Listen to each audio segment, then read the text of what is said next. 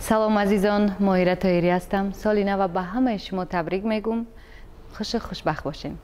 سلام مخلصای نازنین. به همه شما سال نو را مبارک باد میگم. نوروزتان مبارک باشد. سلام دوستان عزیز. من مدینک نظرова هستم. سال наватон مبارک бошад سلام من нишонаи рустам نوروزی ҳамагии шумо مبارک باشد. من آرزوی со هستم. روزنامه‌نگار شاعر از تاجیکستان همزبان شما. جشن فرخنده نوروز را برای شما تبریک و تهنیت می‌گویم. مبارک باشد نوروز خوجستپای. سلام شبنم تاجیدین هستم. سال نوی همه شما مبارک باشد. بگذار خوشی های دنیا نصیب شما گردد. من دوران رحمتزاد هستم آهنگساز از تاجیکستان.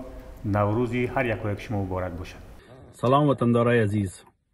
داود عنیف هستم خواستم از طریق برنامه صبح زندگی تلویزیون آریانا تبریک سال نو به خدمت شما تقدیم کنم.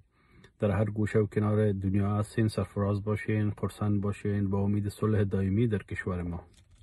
سلام هموطنان عزیز لطیف عزیزی هستم. سال نو از صمیم قلب بر شما تبریک میگم و انشالله که سال خوب و خوش داشته باشین. آمد آمد بهار است. با نفس تازه زمین برگ ها سبز میشن. گل ها برای ما میخندن. پرنده هایی که در سردی زمستان ما را ترک کرده بودن دوباره پیش ما میآیند. و این همش فیض و برکت است. خداوند برای ما یک سال دیگه هم عمر میده تا که زیبایی های بهار باز هم بتانیم ببینیم.